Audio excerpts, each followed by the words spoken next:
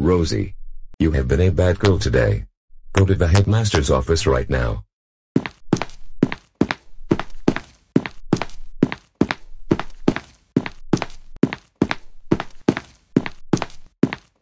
So Rosie, why are you here in my office? I was talking back to the teacher. Rosie, we don't talk back to the teacher.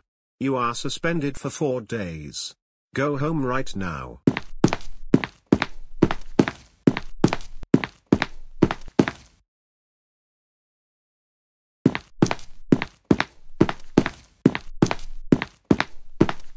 Alright Rosie. We just got off the phone from the headmaster. Saying that you talked back to the teacher. And for this, we are gonna have to ground you for two days. Now go to bed now and think about what you did.